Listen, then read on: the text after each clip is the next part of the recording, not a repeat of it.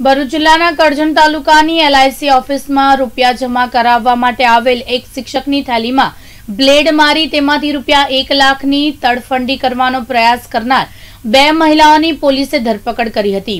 માધ્યમિક શાળામાં ફરજ બજાવતા શિક્ષક કરજણની બેંક ઓફ બરોડામાંથી રૂપિયા ઉપાડીને બેંકના પહેલા માળે આવેલ એલઆઈસીની ઓફિસમાં રૂપિયા જમા કરાવવા માટે ગયા હતા. તે વખતે બે મહિલાઓએ તેમની નજર ચૂકવી તેમના પાકીટને બ્લેડ મારી રૂપિયા એક લાખની તડફંચી કરવાની કોશિશ કરી હતી.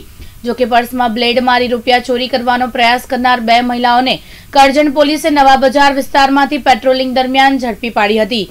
પોલીસના હાથે ઝડપાયેલ હીરા ચમાર અને શાલુ ચમાર મધ્યપ્રદેશની રહેવાસી છે અને તેઓએ ગુજરાત ઉપરાંત મધ્યપ્રદેશ સહિતના રાજ્યોમાં પણ આ તરકીબ અજમાવી રૂપિયા ચોરી કર્યા હોવાની કબૂલાત કરી છે.